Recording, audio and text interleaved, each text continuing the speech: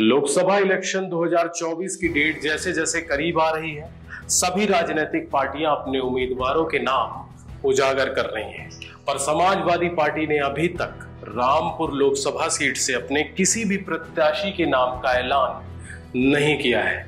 हालाँकि सूत्रों की माने तो सपा प्रमुख खुद यहाँ से चुनाव लड़ सकते हैं। समाजवादी पार्टी के राष्ट्रीय अध्यक्ष अखिलेश यादव ने बीती रात शुक्रवार को जेल में बंद आज़म खान से मुलाकात की थी। इस मुलाकात की माने तो इन दोनों के बीच में कई सीटों को लेकर खूब विचार विमर्श किया गया। अखिलेश यादव जब से आज़म खान से मुलाकात करके वापस आए हैं, उनके रामपुर से चुनाव लड़ने के कयास लगाए जा रहे हैं। सूत्रों के मुताबिक आज़म खान ने खुद अखिलेश यादव को यहाँ से चुनाव लड़ने के लिए आग्रह किया है।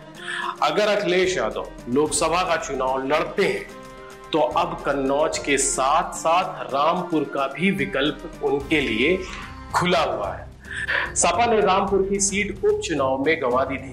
हालाँकि अभी तक अखिलेश यादव के बारे में कोई भी निर्णय नहीं लिया गया है।